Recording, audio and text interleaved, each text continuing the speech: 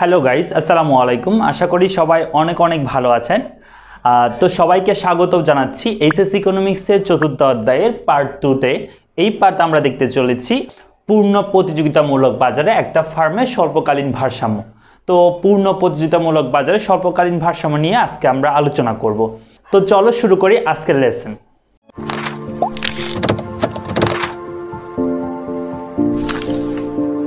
তো পূর্ণ প্রতিযোগিতামূলক বাজারে একটি ফার্মের স্বল্পকালীন ভারসাম্য এই বিষয়টা বোঝার জন্য আমাদেরকে প্রথমে দুটি বিষয় সম্পর্কে বুঝতে হবে। প্রথমে আমরা যেটা করব সেটা হচ্ছে আমরা এই তিনটা সংখ্যা সম্পর্কে জানব, তারপর আমরা জানব যে একটা ফার্মের ভারসাম্য বলতে কি বোঝায়, ঠিক আছে? তো চলো শুরু করি, প্রথমে আমরা এই তিনটা বিষয় সম্পর্কে একটু জানার চেষ্টা করি। প্রথমে আমরা যেটা দেখব সেটা হচ্ছে প্লান্ট মানে কি, ঠিক আছে? প্লান্ট মানে হচ্ছে কোন একটা প্রতিষ্ঠানের একটা উৎপাদন ইউনিটকে বোঝানো হয়। যেমন ধরো বিএসআরএফ কোম্পানি যারা হচ্ছে স্টিল বা যারা রড তৈরি করে, ঠিক আছে? তাহলে এই ক্ষেত্রে তাদের মনে করো যে চট্টগ্রামে একটা ফ্যাক্টরি রয়েছে বা একটা উৎপাদন ইউনিট রয়েছে, ঢাকাতে একটা উৎপাদন ইউনিট রয়েছে আর একটা মনে করো রাজশাহীতে, ঠিক আছে? তাহলে তিনটা উৎপাদন ইউনিটে নিয়ে কিন্তু ওই বিএসআরএম কোম্পানিটা, এই ক্ষেত্রে ওই প্রত্যেকটা আলাদা আলাদা উৎপাদন ইউনিটকে বলা হয় একটা প্লান্ট ঠিক আছে? তাহলে প্লান্ট মানে আমরা বুঝব যে কোনো একটা উৎপাদন ইউনিটকে বোঝানো হয়, যে কোনো একটা কোম্পানির ঠিক আছে? তারপর আসো, যেটা আমরা শিখব সেটা হচ্ছে ফার্ম মানে কি? ফার্ম মানে হচ্ছে একটা উৎপাদন প্রতিষ্ঠান। এই যে আমরা বললাম বিএসআরএম কোম্পানি এই বিএসআরএম কোম্পানি অনেকগুলো প্লান্টের সমন্বয়ে গঠিত, ঠিক আছে? সবগুলো প্লান্টের সমন্বয়ে কোনো একটা কোম্পানিকেই বলা হয় একটা উৎপাদন প্রতিষ্ঠান বা একটা ফার্ম অর্থাৎ ফার্ম মানে আমরা বুঝব একটা উৎপাদন প্রতিষ্ঠানকে, ওকে? তারপর আসলে আমরা দেখব শিল্প মানে কি মানে ইন্ডাস্ট্রি মানে কি, ঠিক আছে? দেখো ইন্ডাস্ট্রি মানে হচ্ছে কোনো একটা দ্রব্য বা সমজাতীয় দ্রব্য উৎপাদনকারী অনেকগুলো প্রতিষ্ঠান বা অনেকগুলো কোম্পানি মিলে একটা শিল্প গঠিত হয়। যেমন ধরো, এই যে আমরা বললাম বিএসআরএম কোম্পানি, এটা কিন্তু লৌহ ও ইস- ইস্পাত শিল্প এটার মধ্যে পড়ে। লৌহ ও ইস্পাত শিল্পের মধ্যে বিএসআরএম আছে কেএসআরএম আছে, এই ধরনের অনেকগুলো কোম্পানি থাকতে পারে, ঠিক আছে? অর্থাৎ একই ধরনের দ্রব্য উৎপাদনকারী সবগুলো কোম্পানির সমন্বয়ে গঠিত হয় একটা শিল্প। যেমন ধরো চা শিল্প, চা শিল্পের মধ্যে অনেকগুলো কোম্পানি রয়েছে। লৌহ ইস্পাত শিল্পের মধ্যে অনেকগুলো কোম্পানি রয়েছে। তৈরি পোশাক শিল্পের মধ্যে অনেকগুলো কোম্পানি রয়েছে। এই সবগুলো মিলে আসলে একটা একটা কি হয়? শিল্প গঠিত হয়। ঠিক আছে? এখন আসো আমরা একটা বিষয় বুঝি, সেটা হচ্ছে এমনও হতে পারে যে একটা একটা প্রতিষ্ঠানের সমন্বয়ে একটা শিল্প হইতে পারে। ঠিক আছে? যেমন ধরো মনে করে যে বাংলাদেশে একটা মাত্র চা উৎপাদনকারী প্রতিষ্ঠান রয়েছে, তাহলে খেয়াল করো সেই ক্ষেত্রে যেটাকে আমরা শিল্প বলব, সেটাই কিন্তু কি হবে? একটা ফার্ম হবে। কেন? কারণ ওইখানে একটাই ফার্ম রয়েছে, ওই একটা ফার্মের সাহায্যে সাহায্যে একটা কি হচ্ছে? শিল্প গঠিত হচ্ছে। ঠিক আছে? তাহলে অনেক সময় এমনও হইতে পারে যে একটা ফার্মের সমন্বয়ে একটা শিল্প গঠিত হতে পারে, আবার এমনও হইতে পারে একটা প্লান্টের সমন্বয়ে একটা ফার্ম গঠিত হইতে পারে। ঠিক আছে? তারপর আমরা যেটা শিখব সেটা হচ্ছে একটা ফার্মের ভারসাম্য বলতে কি বোঝায়? ঠিক আছে? অর্থাৎ একটা উৎপাদন প্রতিষ্ঠানের ভারসাম্য বলতে আমরা কি বুঝি? ওকে, যেটা আমরা বললাম যে উৎপাদন প্রতিষ্ঠানের ভারসাম্য বলতে আমরা কি বুঝি? ঠিক আছে? দেখো, কোন একটা উৎপাদন প্রতিষ্ঠান ভারসাম্য মানে বোঝায় যেই যতটুক পরিমাণ উৎপাদন তারা করবে বা কোন অবস্থায় তারা উৎপাদন বন্ধ করে দিবে বা কতটুক পরিমাণ তারা উৎপাদন করবে সেটা। আর সেটা পরিমাপ করার জন্য আমাদেরকে দুইটা শর্ত দেওয়া হয়েছে। একটা হচ্ছে প্রয়োজনীয় শর্ত, অর্থাৎ কোনো একটা প্রতিষ্ঠান এই প্রয়োজনীয় শর্ত যদি পূরণ করে, সেক্ষেত্রে উৎপাদন বন্ধ করে দিবে। আরেকটা হচ্ছে পর্যাপ্ত শর্ত, ঠিক আছে? প্রথমে আমরা প্রয়োজনীয় শর্ত, শর্তটা নিয়ে আলোচনা করি। প্রয়োজনীয় শর্ত মানে কি? বলা হচ্ছে যে প্রয়োজনীয় শর্ততে যখন কোন একটা উৎপাদন প্রতিষ্ঠানের এমআর সমান এমসি হবে, ঠিক আছে? এমআর সমান এমসি হবে। অর্থাৎ আমরা গত চ্যাপ্টারে অর্থাৎ যেটা তৃতীয় অধ্যায় ছিল, উৎপাদন ব্যয়, সেই চ্যাপ্টারে কিন্তু আমরা পড়ছি এমআর মানে কি এমসি মানে কি। এমআর মানে হচ্ছে মার্জিনাল রেভিনিউ অর্থাৎ প্রান্তিক আয়, ঠিক আছে? আর এমসি মানে হচ্ছে মার্জিনাল কস্ট মানে প্রান্তিক ব্যয়।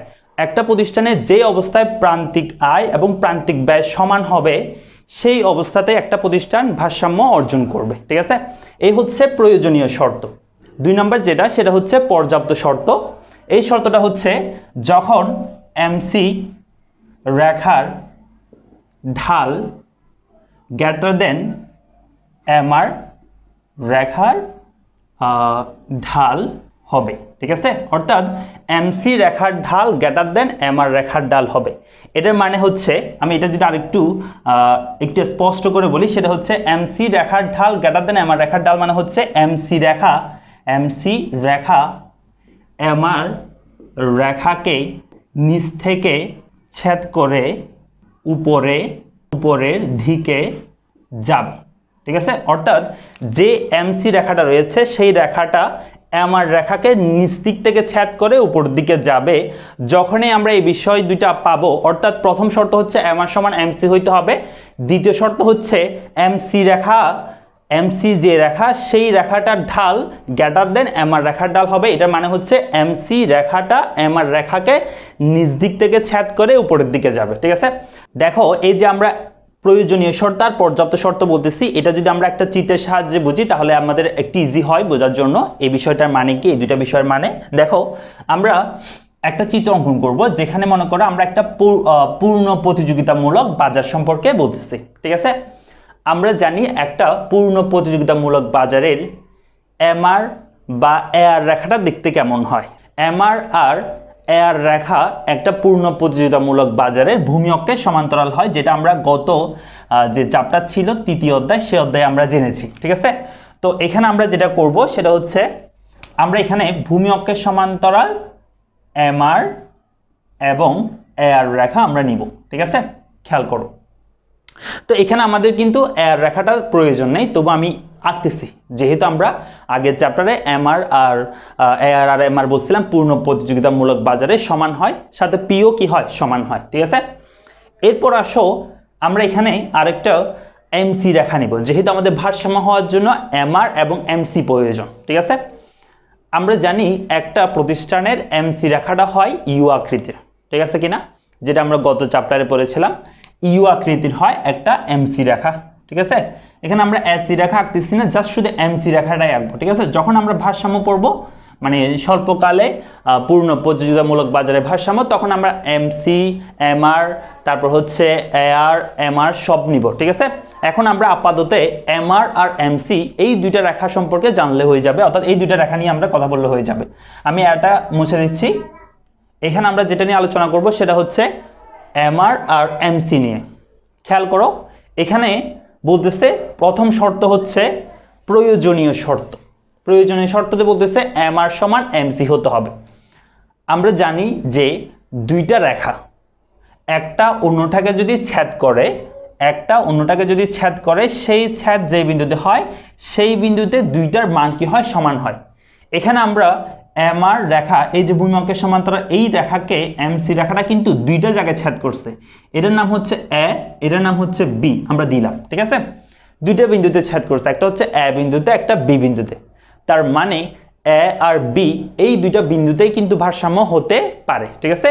আমাদের প্রয়োজনীয় শর্ত অনুযায়ী আমরা এই দুইটা বিন্দুই পাচ্ছি, যেখানে এম আর সমান এমসি হচ্ছে। এই এ বিন্দুতে হচ্ছে এম আর সমান এমসি এম আর সমান এমসি হচ্ছে এই বিন্দুতে এবং বি বিন্দুতে এম আর সমান এমসি হচ্ছে। ঠিক আছে? তারপর আসো। দুই নম্বর যে শর্ত, সেটা হচ্ছে পর্যাপ্ত শর্ত। তো যেহেতু এখানে প্রয়োজনীয় শর্তের মধ্যে দুই বিন্দুতে আমরা দেখতে পাচ্ছি আমার সমান এমসি আমরা আসলে বুঝতে পারতেছি না কোন বিন্দুতে উৎপাদন করবে। এখানে কিন্তু একটা আমাদের ভারসাম্য বিন্দু হবে আটটা ভারসাম্য বিন্দু হবে না। সেটা আমরা পাবো পর্যাপ্ত যে শর্ত, সেই শর্ত দিয়ে। পর্যাপ্ত শর্তের মধ্যে আমাদেরকে বলতেছে এমসি রেখার ডাল গ্রেটার দেন এমআর রেখার ডাল, ঠিক আছে? এই বিষয়টার মানে হচ্ছে এমসি রেখা এমআর রেখাকে নিচ থেকে ছেদ করে উপরের দিকে যাবে। একটু খেয়াল করো এখানে এ বিন্দুতে, ঠিক আছে? এই অবস্থায় এই অবস্থায় আমাদের এমসি রেখাটা বাম থেকে ডানে নিম্নগামী। খেয়াল করো, এই অবস্থায় আমাদের এমসি রেখাটা এ বিন্দুতে, বাম থেকে ডানে নিম্নগামী এই এমসি রেখাটা, ঠিক আছে? এবং আমাদের যেটা এমআর রেখা আছে, সেই রেখাটা খেয়াল করো এমআর রেখাটা কিন্তু ভূমি অক্ষের সমান্তরাল। ঠিক আছে? এমসি রেখা বাম থেকে ডানে নিম্নগামী আর এর রেখা ভূমি অক্ষের সমান্তরাল। তার মানে আমরা বলতেছি এখানে এমসি রেখা এমআর রেখাকে দিক থেকে ছেদ করে উপরের দিকে যাবে, সেই শর্তটা পালন হচ্ছে না। কারণ এখানে এমসি রেখা হচ্ছে উপর থেকে ছেদ করে নিচে আসছে। নিচ থেকে ছেদ করে উপরে যায় নাই, ঠিক আছে? তার মানে এ বিন্দুতে আমাদের ভারসাম্য হবে না, ওকে? তারপর আসে আমরা বি বিন্দুতে দেখি বি বিন্দুতে ভারসাম্য হয় কিনা। দেখো বি বিন্দুতে এমসি রেখাটা হচ্ছে বাম থেকে ডানে ঊর্ধ্বগামী, অর্থাৎ এই এমআর রেখাকে নিচ থেকে ছেদ করে উপরের দিকে যাচ্ছে।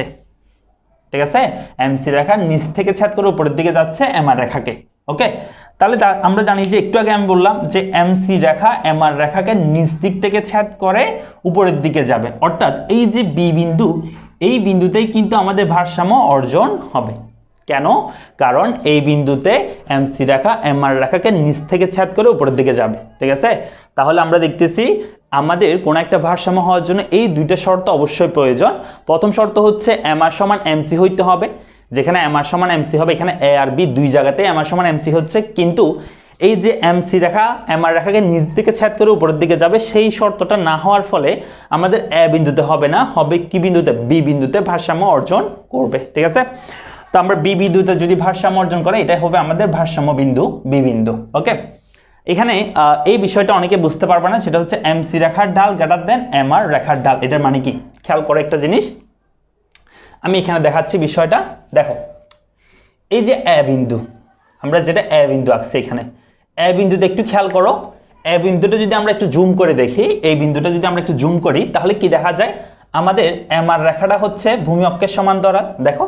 এমআর রেখাটা হচ্ছে ভূমি অক্ষের সমান্তরাল, আর আমাদের এমসি রেখাটা হচ্ছে বাম থেকে ডানে নিম্নগামী। এটা হচ্ছে আমাদের এমসি রেখা। এমসি রেখাটা খেয়াল করো এমসি রেখাটা এই অবস্থায় বাম থেকে ডানে নিম্নগামী, নিচের দিকে নামতেছে এমসি রেখা। তাহলে দেখো, একটা রেখা হচ্ছে ভূমি অক্ষের সমান্তরাল। আমরা কিন্তু দ্বিতীয় অধ্যায়ে যখন ঢাল নিয়ে পড়াচ্ছিলাম, সেই ক্ষেত্রে আমরা বলছিলাম, আমরা চার ধরনের রেখার ঢাল সম্পর্কে আলোচনা করছিলাম। চার ধরনের সরলরেখার ঢাল। একটা হচ্ছে বাম থেকে ডানে ঊর্ধ্বগামী, আরেকটা বাম থেকে ডানে নিম্নগামী আর একটা ভূমি অক্ষের সমান্তরাল, একটা রম্ব অক্ষের সমান্তরাল। আমরা সেক্ষেত্রে বলছিলাম, যদি কোনো একটা রেখা ভূমি অক্ষের সমান্তরাল হয়, সেই রেখার ঢাল হয় শূন্য। ভূমি অক্ষের সমান্তরাল যদি কোনো একটা রেখা হয়, সেই রেখার ঢাল হয় শূন্য। আবার বলছিলাম, বাম থেকে ডানে যদি কোনো একটা রেখা হয়, সেই রেখার ঢাল সবসময় ঋণাত্মক হয়। কি হয়? ঋণাত্মক হয়। ওকে? তাহলে আমাকে বলো তোমরা যে এখানে শূন্য বড় না ঋণাত্মক সংখ্যাটা বলো?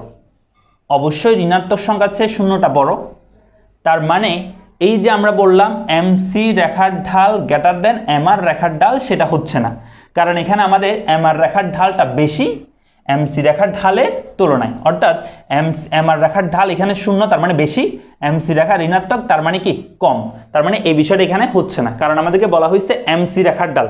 অর্থাৎ এমসিটা বেশি হবে এমআর এর তুলনায়। কার তুলনায়? এমআর রেখার তুলনায় ঢালটা কি হবে? বেশি হবে। তার মানে এটা আমাদের প্রযোজ্য হচ্ছে না এর ক্ষেত্রে। কিসের ক্ষেত্রে? এ বিন্দুর ক্ষেত্রে। এখন আসে আমরা বি বিন্দুটা একটু দেখি। বি বিন্দুতে কেমন হচ্ছে? দেখো। বি বিন্দুতে আমাদের যেটা দেওয়া আছে, আমাদের বি বিন্দুতে একটু খেয়াল করতে হবে। বি বিন্দুতে আমাদের এমআর আগের মতোই ভূমি অক্ষের সমান্তরাল আছে। এটা হচ্ছে এমআর ভূমি অক্ষের সমান্তরাল আছে। দেখো এমআর হচ্ছে ভূমি অক্ষের সমান্তরাল। কিন্তু এমসি রেখা বি এর ক্ষেত্রে এমসি রেখা হচ্ছে বাম থেকে ডানে ঊর্ধ্বগামী। অর্থাৎ এটা হচ্ছে এমসি রেখা কি রেখা এমসি রেখা খেয়াল করো তাহলে। এক্ষেত্রে আমরা আগে যে বলছিলাম যে ভূমি অক্ষের সমান্তরাল যদি হয়, তাহলে আমাদের এমআর রেখার ঢাল কেমন হবে বলতো এমআর রেখার ডাল হবে শূন্য। কারণ ভূমি অক্ষের সমান্তরাল রেখার ডাল হয় শূন্য। আবার এমসি রেখার ঢাল বাম থেকে ডানে যেহেতু ঊর্ধ্বগামী এমসি রেখাটা, এই রেখাটা ঢাল হবে ধনাত্মক। কি হবে? ধনাত্মক। এখন আমাকে বলো যে শূন্য বড় না ধনাত্মক সংখ্যা বড়? অবশ্যই ধনাত্মক সংখ্যাটা কি হবে? বড় হবে শূন্যের তুলনায়। তার মানে এমসি ঢাল কি হবে? বেশি হবে এমআর এর তুলনায়। তার মানে এই যে সত্য এমসি রেখার ঢাল গ্রেটার দেন এমআর রেখার ঢাল হবে। এটাকে সহজ ভাষায় বললে, সহজ বাংলায় বললে এমসি রেখা এমআর রেখাকে নিচ দিক থেকে ছেদ করে উপরের দিকে যাবে। যখনই আমরা দেখব এমসি রেখা নিচ থেকে ছেদ করে উপর দিকে উঠছে, সেটা হবে ভারসাম্য। যদি উপর থেকে নিচ দিকে ছেদ করে আসে, তাহলে সেটা কি হবে না? ভারসাম্য হবে না। তাহলে এখানে আমাদের ভারসাম্য হবে বি বিন্দু। ক্লিয়ার আমরা বুঝতে পারছি একটা উৎপাদন প্রতিষ্ঠানের ভারসাম্য মানে কি, ঠিক আছে? তো এখন আমরা যেটা দেখব, আমাদের মূল বিষয় সেটা হচ্ছে পূর্ণ প্রতিযোগিতামূলক বাজারে একটি ফার্মের স্বল্পকালীন ভারসাম্য। পূর্ণ প্রতিযোগিতামূলক বাজারে একটি ফার্মের স্বল্পকালে যে ভারসাম্য, আসলে একটা পূর্ণ প্রতিযোগিতামূলক বাজারে স্বল্পকালে একটা ফার্ম তিনভাবে ভারসাম্য অর্জন করতে পারে, ঠিক আছে? একটাকে বলা হয় অস্বাভাবিক মুনাফা সহ ভারসাম্য অর্জন আর এটা হচ্ছে স্বাভাবিক মুনাফা সহ ভারসাম্য অর্জন, ক্ষতি স্বীকার করে ভারসাম্য অর্জন, ঠিক আছে? তো আমরা যেটা করব, আমরা এই পার্টটাতে আসলে তিনটা বিষয় একসাথে বোঝাতে পারব না। আমরা আজকের পার্টে অস্বাভাবিক মুনাফা সহ ভারসাম্য এবং স্বাভাবিক মুনাফা সহ ভারসাম্য করব। এর পরবর্তী পার্টটাতে আমরা ক্ষতি স্বীকার করে ভারসাম্যটা আলোচনা করব, ঠিক আছে? আচ্ছা তো প্রথমে আমরা বলি যে অস্বাভাবিক মুনাফা সহ ভারসাম্য মানে কি? অস্বাভাবিক মুনাফা সহ ভারসাম্য মানে হচ্ছে যখন কোন একটা উৎপাদন প্রতিষ্ঠানে যে টোটাল রেভিনিউ আছে মোট আয়। সেই মোট আয় থেকে মোট ব্যয়টা বাদ দিয়ে যদি একটা ধনাত্মক মান পাওয়া যায় মানে যদি মুনাফা হয়, সেটাকে আমরা বলব অস্বাভাবিক মুনাফা সহ ভারসাম্য। আর যদি কোনো একটা উৎপাদন প্রতিষ্ঠানের যেটা টোটাল রেভিনিউ সেটা থেকে যদি টোটাল যে কস্ট সেটা বাদ দিয়ে যদি শূন্য পাওয়া যায়, অর্থাৎ টোটাল রেভিনিউ আর টোটাল কস্ট যদি শূন্য হয়, সেটাকে আসলে বলা হয় স্বাভাবিক মুনাফা সহ ভারসাম্য। তারপর আসো, যদি মোট আয় থেকে মোট ব্যয়টা কি হয়? বেশি হয়ে যায়, অর্থাৎ যদি ক্ষতি হয়, সেটাকে বলা হয় ক্ষতি স্বীকার করে ভারসাম্য, ঠিক আছে? আসো, আমরা প্রথমে যেটা করব সেটা হচ্ছে আমরা একটা পেজের মধ্যে, একটা খাতার একটা পেজের মধ্যে এভাবে তিনটে চিত্র একসাথে আঁকবো, ঠিক আছে? আঁকার পরে আমরা যেটা করব সেটা হচ্ছে এখানে আমরা দিব জিরো আমরা উৎপাদনের পরিমাণ ধরবো ভূমি অক্ষে, ঠিক আছে? সবগুলো চিত্র একই রকম করব জিরো উৎপাদনের পরিমাণ ভূমি অক্ষে জিরো উৎপাদনের পরিমাণ কি অক্ষে? ভূমি অক্ষে। বোঝা গেছে? তারপর আসো আমরা। উপরের দিকে আমরা যেটা ধরবো সেটা হচ্ছে আমরা এখানে দাম এআর এমআর, এসি, এমসি সবগুলো একসাথে থাকব ঠিক আছে? আমরা লম্বককে P R M R AC, MC সবগুলো নিব। এটার ক্ষেত্রেও ঠিক same P R M R AC, MC. এটার ক্ষেত্রেও same P R M R AC, MC. Okay তারপর আসো। তারপর আমরা যেটা করব, যেহেতু আমরা বলতেছি এটা একটা পূর্ণ প্রতিযোগিতামূলক বাজার, একটি ফার্মের স্বল্পকালীন ভারসাম্য, পূর্ণ প্রতিযোগিতামূলক বাজার, যেহেতু বলতেছি আমাদের পূর্ণ প্রতিযোগিতামূলক বাজারে একটা ফার্মের যে এআর এমআর ছিল সেটা আমাদের মাথায় রাখতে হবে। পূর্ণ প্রতিযোগিতামূলক বাজারে এআর আর এমআর রেখাটা দেখতে কেমন ছিল? দেখো তো, পূর্ণ প্রতিযোগিতামূলক বাজারে একটা ফার্মের পি এআর এমআর সেই রেখাটা কিন্তু ভূমি অক্ষের সমান্তরাল ছিল, তাই তো? পি এআর এবং এমআর লিখলাম আমরা, ওকে? এটা ছিল ভূমি অক্ষের সমান্তরাল পূর্ণ প্রতিযোগিতামূলক বাজারের ক্ষেত্রে। তো সবগুলো চিত্রের মধ্যে আমরা একই রকম আঁকবো পি এআর সমান এমআর ওকে? আমরা সবগুলো চিত্রের মধ্যে একই রকম আঁকবো পি এআর সমান এমআর পি এআর সমান এমআর, ঠিক আছে? তো এখানে আবার এটা একটু উপরে গেছে। বিদায়, তোমরা মনে করি না যে আমি মানে ইচ্ছা করে উপরে নিয়ে গেছি বা এটা উপরে নিতে হবে এমন কিছু না, ঠিক আছে? তোমরা জাস্ট একটা ভূমি অক্ষের সমান্তরাল রেখা আঁকলেই হয়ে যাবে পি আর এম আর ওকে তারপর আসো। আমরা পি আর এম আর পেয়েছি। আমাদের আরও একটা রেখা লাগবে ভারসাম্য বের করার জন্য। একটু আগে কিন্তু আমরা বলছি, ভারসাম্য হওয়ার জন্য আমাদের এম আর এবং এমসি দুইটাই লাগবে। তো আমরা তো এম আর পেয়ে গেছি। আমাদের লাগবে এমসি রেখাটা, ঠিক আছে? তো আমরা প্রত্যেকটা চিত্রে এমসি রেখা আঁকবো। তো এমসি রেখা আঁকার সময় আঁকতেছি, দেখো, এভাবে করে আমরা একটা এমসি রেখা আঁকবো। আমি যেভাবে আঁকছি, ঠিক সেম ভাবে আঁকবা। একটা সাইনের মতো, এটা হচ্ছে কি? এমসি রেখা, ঠিক আছে? এইভাবে করে রাখবা প্রত্যেকটা সেম আমরা একইভাবে এমসি রেখা এখানেও আঁকবো এমসি রেখা। এটা আমরা কি রাখব? এমসি রেখা। দেখো, বুঝছ কিনা? এমসি রেখাটা আঁকবো আমরা, সাইনের মতো করে সবগুলো চিত্রে একই রকম ওকে তারপর দেখো, আমরা বলছিলাম যেই বিন্দুতে এম আর সমান এমসি হয়, সেই বিন্দুতে ভারসাম্য অর্জন করে। এটা হচ্ছে প্রয়োজনীয় শর্ত। আরেকটা বলছিলাম, পর্যাপ্ত শর্ত, সেই পর্যাপ্ত শর্ত হচ্ছে এমসি রেখা এম আর রেখাকে নিচ থেকে ছেদ করে উপরের দিকে যাবে। তার মানে এই যে এই বিন্দুতে কিন্তু দুইটা শর্তই পূরণ হয়। এম আর সমান এমসিও হয় এবং এমসি রেখাটা এম আর রেখাকে নিচ থেকে ছেদ করে উপরের দিকে যায়। তাই তো? তার মানে এই বিন্দুতে আমাদের ভারসাম্য বিন্দু। এখানে আমরা একটা নাম দিলাম, এই বিন্দুর নাম দিলাম আমরা ই বিন্দু। কি বিন্দু দিলাম? ই বিন্দু। ওকে তারপর আসো। এখানেও ঠিক সেম এখানেও আমাদের ভারসাম্য অর্জন হয় এই বিন্দুতে। এখানে নাম দিলাম ই বিন্দু। এখানেও নাম দিলাম কি? ই বিন্দু। বুঝছি সবাই? এটা হচ্ছে আমাদের ভারসাম্য বিন্দু এবং এটার নাম হচ্ছে ই বিন্দু দিলাম আমরা। এখন আসো, আমরা তো ভারসাম্য পেয়ে গেছি। একটা প্রতিষ্ঠান ভারসাম্য হয়ে গেছে, যেখানে এমআর সমান এমসি হয়েছে এবং এমসি রেখার ডাল গ্রেটার দেন এমআর রেখার ডাল হয়েছে অর্থাৎ এমসি রেখা এমআর রেখাকে নিচ থেকে ছাদ করে উপরে দিয়ে গেছে। তো ভারসাম্য তো পেয়ে গেছি। কিন্তু এই যে প্রতিষ্ঠান, এখানে যে তিনটা ভারসাম্য দিচ্ছে এটা কীভাবে আসলে ভারসাম্য অর্জন করছে? এই চিত্রটার মধ্যে এটা কি অস্বাভাবিক মুনাফা সহ ভারসাম্য অর্জন করছে? নাকি স্বাভাবিক মুনাফা সহ ভারসাম্য অর্জন করছে? না ক্ষতি স্বীকার করে ভারসাম্য অর্জন করছে? সেটা বের করার জন্য অবশ্যই আমাদের যেই রেখাটা লাগবে সেটা হচ্ছে অ্যাভারেজ কস্ট রেখা, ঠিক আছে? অ্যাভারেজ কস্ট রেখাটা আমাদের লাগবে। তো দেখো অ্যাভারেজ কস্ট আর মার্জিনাল কস্ট যে রেখা, সেই দুইটা রেখার সম্পর্ক এবং সেই দুইটা রেখা কিন্তু আমরা গত চ্যাপ্টারে পড়েছি ঠিক আছে? তো সেই চ্যাপ্টারের শেষ ভিডিওতে আমি বলে দিয়েছিলাম যে এই এই চিত্রগুলো আমাদের এই চ্যাপ্টার অর্থাৎ বাজার চ্যাপ্টারে লাগবে। দেখো অ্যাসি রেখাটা যেমন ছিল, যখন আমরা অস্বাভাবিক মুনাফা সহ করব, ঠিক আছে? এগুলো এখন বাদ, এগুলোতে আমরা পরে হাত দিব। যখন আমরা অস্বাভাবিক মুনাফা সহ করব, তখন যে অ্যাসি রেখা, সেই অ্যাসি রেখাটা কি ধরনের হবে দেখো? আমাদের সেই অ্যাসি রেখাটা হবে এই ধরনের। আমরা অ্যাসি রেখাটা এই জায়গা থেকে শুরু করব, ঠিক আছে? এই জায়গা থেকে শুরু হয়ে নিচের দিকে আসবে। নিচের দিকে আস্তে আস্তে যখনই এমসি বরাবর আসবে অ্যাসি রেখাটা কোথায় আসবে? এমসি বরাবর আসবে। এটা নিচের দিকে আসবে না। অ্যাসি রেখাটা নিচের দিকে আসবে না। দেন এরপর থেকে উপরের দিকে যাওয়া শুরু করবে, ঠিক আছে?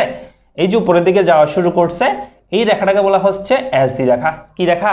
অ্যাসি রেখা। তাহলে কি বলতেছে আমি ভালো করে খেয়াল করো। অ্যাসি রেখাটা প্রথমে নিচের দিকে আসবে, যখনই এমসিতে টাচ করবে, আর নিচের দিকে আসবে না এমসির উপর এরপর থেকে আবার উপরের দিকে উঠে যাবে। কেন? কারণ মনে করে দেখো একটু, যখন আমি এসি এবং এমসি রেখা আঁকছিলাম, তখন আগে এসি রেখাটা এঁকে ফেলছিলাম তারপর এসি রেখার সর্বনিম্ন বিন্দু দিয়ে এমসি রেখা আঁকছি। তো যেহেতু এক্ষেত্রে আমরা আগে এমসি রেখাটা আঁকতেছি এসি রেখা আঁকার আমাদের সুযোগ নেই তাই এমসিটা যেহেতু এঁকে ফেলছি তাই আমরা এসিটা এমনভাবে আঁকতে হবে যাতে এসির সর্বনিম্ন বিন্দু দিয়ে এমসিটা ছেদ করে উপরের দিকে যায়। এই অ্যাসিটার সর্বনিম্ন বিন্দু দিয়ে যেন এমসিটা ছেদ করে উপর দিকে যায়। সেটা কেমনে বের করব? আমরা অ্যাসিডের নিচের দিকে আনব।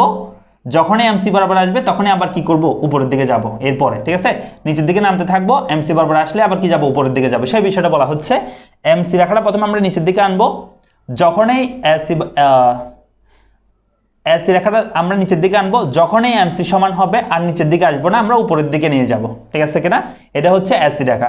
তো এখানে একটা জিনিস মাথায় রাখতে হবে, এই এসি রেখাটা অবশ্যই অবশ্যই এই ই বিন্দুর নিচে দিয়ে যায় মতো করে রাখতে হবে।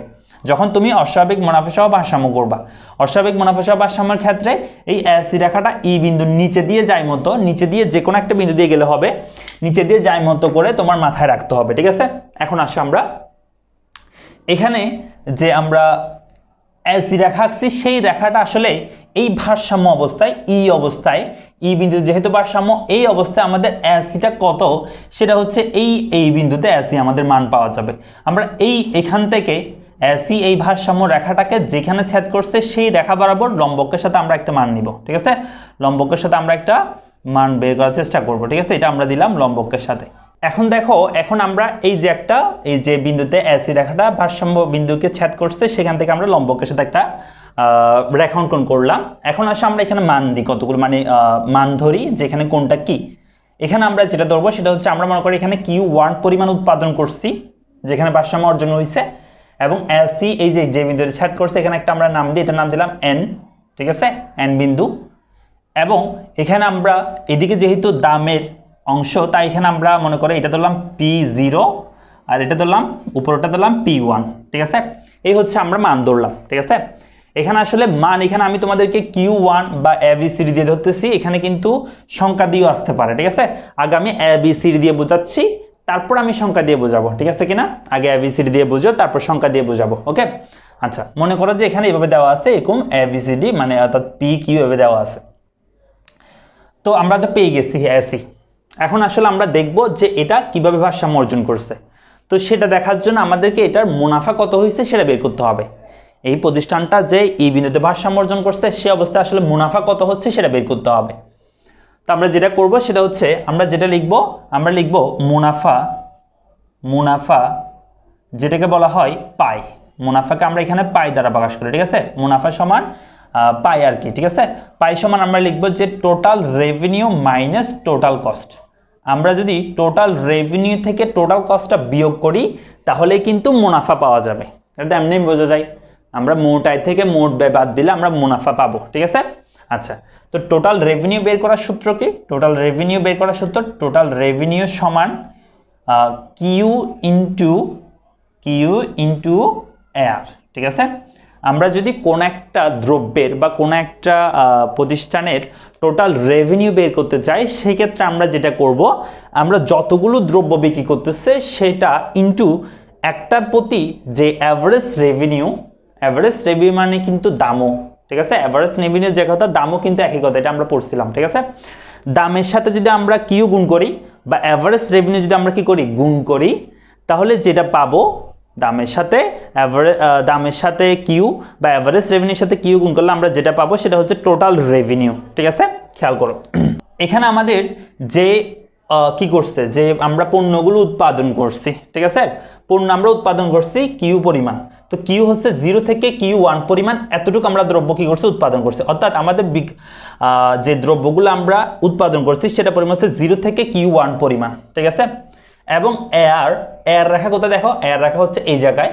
অর্থাৎ এই যে পি ওয়ান বরাবর যে রেখাটা গেছে, সেটা হচ্ছে এয়ার রেখা। এয়ার রেখা হচ্ছে এই পি ওয়ান ই পর্যন্ত। তার মানে বোঝাচ্ছে আমরা যে দ্রব্যগুলো কি করছি, উৎপাদন করছি, সেটার পরিমাণ হচ্ছে, সেটার পরিমাণ হচ্ছে কিউ ওয়ান পরিমাণ জিরো থেকে কিউ ওয়ান পরিমাণ, এই যে জিরো থেকে কিউ ওয়ান পরিমাণ এবং এয়ার হচ্ছে পি ওয়ান থেকে ই ওয়ান পরিমাণ। পি ওয়ান থেকে পি ওয়ান থেকে ই পরিমাণ, ঠিক আছে? তাহলে দেখো zero P one E Q one এটাই হচ্ছে আমাদের কি হবে? টোটাল রেভিনিউ হবে। আমি আবার বলতেছি zero P one E Q one এই অঞ্চলটাই আমাদের হবে টোটাল রেভিনিউর অঞ্চল, ঠিক আছে? তার আমরা এখানে লিখব zero P one E Q one আমি আবার বলতেছি, আমরা উৎপাদন করছি জিরো থেকে কিউ ওয়ান পরিমাণ এবং অ্যাভারেজ রেভিনিউ হচ্ছে আমাদের পি ওয়ান বা ই এই রেখাটা পর্যন্ত, ঠিক আছে? তার মানে আমাদের এখান থেকে এতটুকু পরিমাণ সবগুলো হচ্ছে টোটাল রেভিনিউ অর্থাৎ zero P one E Q one এটা হচ্ছে আমাদের টোটাল রেভিনিউ দেন আসো, আমরা টোটাল কস্ট বের করব। টোটাল কস্ট মানে কি? টোটাল কস্ট মানে হচ্ছে, আমরা যেটা দিয়ে বের করব সেটা হচ্ছে কিউ ইন্টু এসি আমরা কোনো একটা জিনিসের বা কোনো একটা দ্রব্যের টোটাল কস্ট যদি বের করতে চাই, সেক্ষেত্রে আমরা যেই দ্রব্যগুলো উৎপাদন করছি, সেই দ্রব্য উৎপাদনের পরিমাণ দিয়ে যদি আমরা অ্যাভারেজ কস্টকে গুণ করি, যেটা গড় ব্যয় সেটাকে যদি আমরা গুণ করি, আসলে আমরা পেয়ে যাব আমাদের টোটাল কত ব্যয় হচ্ছে সেটা।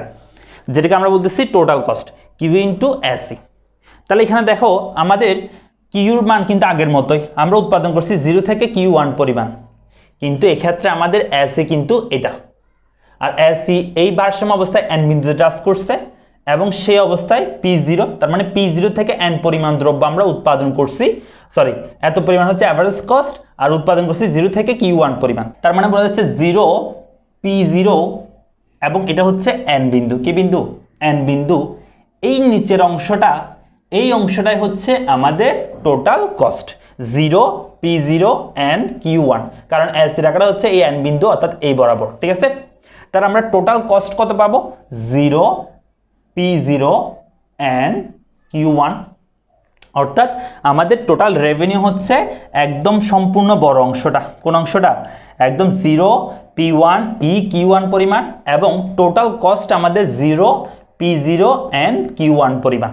আচ্ছা এখন আমরা মুনাফা বের করি। তাহলে আমরা বলতে পারি যে মুনাফা সমান total revenue minus total cost total revenue কত পাইলাম আমরা? Total revenue zero P one E Q one এবং total cost zero P zero N Q one একটু খেয়াল করতে হবে এক্ষেত্রে। দেখো, আমরা টোটাল রেভিনিউ পাচ্ছি zero P one E Q one তার মানে এখান থেকে zero P one E Q one এই সম্পূর্ণ বড় অংশটা হচ্ছে বড় যে বক্স সেই বক্সটাই হচ্ছে আমাদের টোটাল রেভিনিউ আমি এখানে লাল মার্ক লাল মার্কার দিয়ে মার্ক করতেছি, দেখো। এই অংশটাই হচ্ছে আমাদের টোটাল রেভিনিউ এই বড় অংশটা, ঠিক আছে? এই অংশ থেকে আমাদের যে কস্ট সেই কস্টটা হচ্ছে নিচের বক্সটা নিচের বক্স কোনটা?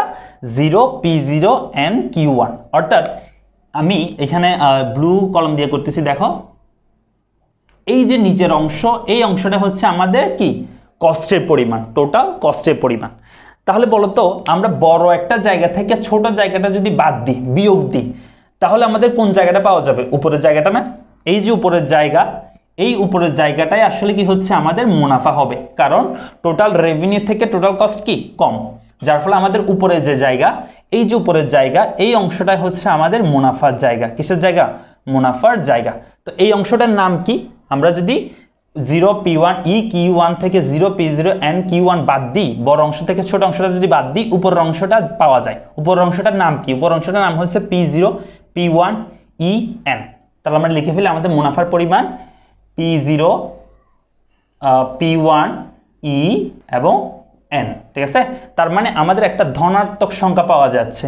যেহেতু আমাদের একটা ধনাত্মক সংখ্যা পাওয়া যাচ্ছে মানে একটা মুনাফা দেখা যাচ্ছে, এটাকে বলা হয় অস্বাভাবিক মুনাফা সহ ভারসাম্য। বোঝা গেছে আমার কথা? এখন আসে আমরা একটা কাজ করি, আমরা একটা সংখ্যা দিয়ে এই বিষয়টা আবার করে দেখি, ঠিক আছে? মুনাফা, লাভ, ক্ষতি বের করে দেখি। ওকে এখানে আমরা উৎপাদনের পরিমাণ আমরা এখানে ধরে নিচ্ছি, দশ পরিমাণ উৎপাদন করছে, অর্থাৎ কিউ যেটা উৎপাদনের পরিমাণ, সেটা হচ্ছে দশ আর আমাদের যেটা অ্যাভারেজ রেভিনিউ ছিল এই জায়গায়, সেটা আমরা ধরতেছি দশ, এবং যেটা অ্যাভারেজ কস্ট এসি এটা ধরতেছি আমরা আট, ঠিক আছে? এটা হচ্ছে আমাদের সংখ্যা দিয়ে দেওয়া আছে। এখন আসে আমরা এখান থেকে লাভ ক্ষতি বের করব মানে মুনাফা বের করব। আর মুনাফা বের করার জন্য আমাদের দুটো জিনিস বের করতে হবে, একটা হচ্ছে টোটাল রেভিনিউ আর একটা হচ্ছে টোটাল কস্ট ঠিক আছে? আমরা টোটাল রেভিনিউ বের করব টোটাল কস্ট বের করব, তারপর আমরা টোটাল রেভিনিউ থেকে টোটাল কস্ট কি দিব, বাদ দিব। টোটাল রেভিনিউ আমাদের কীভাবে বের করতে হয়? কিউ ইন্টু এয়ার ঠিক আছে? তাহলে আমরা কিউ ইন্টু এয়ার কি করব? গুণ করব। দেখো, আমাদের কিউর পরিমাণ হচ্ছে দশ, আমরা লিখতেছি দশ ইন্টু এর পরিমাণ হচ্ছে এই যে এয়ার এই রেখাটা হচ্ছে এয়ার এয়ারের দাম এয়ার হচ্ছে কত? দশ। তার মানে আমরা লিখতেছি এখানে দশ, আর দশের সাথে দশ যদি আমরা গুণ করি, তাহলে আমাদের মান আসবে কত? একশো। এটা হচ্ছে আমাদের টোটাল রেভিনিউ ওকে তারপর আমরা টোটাল কস্ট করি।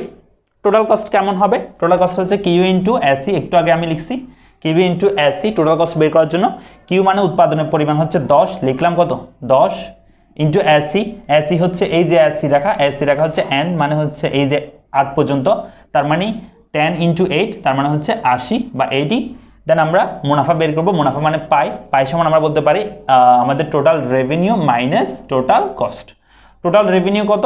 টোটাল রেভিনিউ হচ্ছে একশো, আর টোটাল কস্ট কত? আশি, লিখলাম আশি। দেন আমরা বিয়োগ করে আশি থেকে একশো থেকে আশি বিয়োগ করলে হয় টোয়েন্টি এটা হচ্ছে আমাদের মুনাফার পরিমাণ। তো যেহেতু দেখতেছি আমরা একটা মুনাফা হচ্ছে, তাই এটাকে আমরা বলতেছি অস্বাভাবিক মুনাফা সহ ভারসাম্য। ক্লিয়ার একদম? আমরা অস্বাভাবিক মুনাফা সহ ভারসাম্য আসলে যেটা করব সেটা হচ্ছে এসি রেখাটা এই ই বিন্দুর নিচে দিয়ে নিয়ে যাব। ই বিন্দুর নিচে দিয়ে গেলেই এই উপরের অংশটা আসলে মুনাফা দেখা যাবে। ঠিক আছে কিনা আমরা বুঝতে পারছি? তাহলে এটা দেন আসো আমরা করব স্বাভাবিক মুনাফা সহ ভারসাম্য। ঠিক আছে? স্বাভাবিক মুনাফা সহ ভারসাম্যের ক্ষেত্রে আমরা এসি রেখা কেমন অঙ্কন করব? একটু মাথায় রাখবা, স্বাভাবিক মুনাফা সহ ভারসাম্যের ক্ষেত্রে এসি রেখাটা, এই যে এসি রেখা, সেই রেখাটা অবশ্যই তোমরা, এই যে আমরা এখানে একটা ই বিন্দু দিচ্ছি ভারসাম্য বিন্দু সেই বিন্দু দিয়ে যাই মতো করে লিখবা ঠিক আছে? তাহলে কেমন আঁকবো আমরা দেখো, আমরা উপর থেকে শুরু করব। উপর থেকে শুরু করে এটা আমরা নিচের দিকে নিয়ে যাব, ঠিক আছে? নিচের দিকে আনতে আনতে আমরা ই বিন্দুতে টাচ করব। তারপর আর নিচের দিকে আসব না। আবার আমরা কোন দিকে যাব? উপরের দিকে যাওয়া শুরু করব। এটা হচ্ছে কি? এসি রেখা। কেন করতেছে এটা? কারণ আমরা জানি যে এসি রেখার সর্বনিম্ন বিন্দু দিয়ে এমসি রেখা কি করে? বাম থেকে ডানে ছেদ করে উপরের দিকে উঠে। ঠিক আছে? তাহলে আমরা কি করতেছি এসি রেখাটা প্রথমে নিচের দিকে আনব, যখনই এমসি বরাবর আসবে, আর নিচের দিকে আসবে না, আবার উপরের দিকে নিয়ে যাব। তাহলে আমাদের এখানেই হচ্ছে এসি রেখাটা পাওয়া যাচ্ছে, ওকে? দেন আমরা এখন মান ধরবো। এখানে মনে করো আমরা কিউ ওয়ান পরিমাণ উৎপাদন করছি, এবং এখানে এয়ার আর এসি দুইটা কিন্তু একই জায়গায়। যেহেতু এই বিন্দুতে ভারসাম্য অবস্থায়, এখানে টাচ করতেছে দুইটা এয়ার এবং এমসি এসি তাহলে এই অবস্থায় মনে করো আমরা ধরলাম এটা পি ওয়ান আমাদের যে দ্রব্যগুলো যে দ্রব্যগুলো উৎপাদন করছে সেটা এয়ার এবং এসি দুইটাই সমান, সেটা হচ্ছে পি ওয়ান পরিমাণ, ঠিক আছে? এখান থেকে আমরা মুনাফা বের করলে আসলে বের হয়ে যাবে এটা কোন ধরনের ভারসাম্য অর্জন করছে, ওকে? তো আমরা প্রথমে যেটা করব সেটা হচ্ছে আমরা মুনাফার জন্য টোটাল রেভিনিউ লিখব আমরা টোটাল রেভিনিউ টোটাল রেভিনিউ সূত্র আমরা ইউজ করব, তারপর আমরা টোটাল কস্টের সূত্র ইউজ করব, ঠিক আছে? টোটাল রেভিনিউ আর টোটাল কস্ট আমরা বের করলে হয়ে যাবে। দেখো টোটাল রেভিনিউ হচ্ছে Q into AR total revenue বের করার সূত্র কিউ ইনটু এয়ার উৎপাদনের পরিমাণ দিয়ে আমরা যে অ্যাভারেজ রেভিনিউ সেটা দিয়ে গুণ করলে আমাদের টোটাল রেভিনিউ পাওয়া যাবে।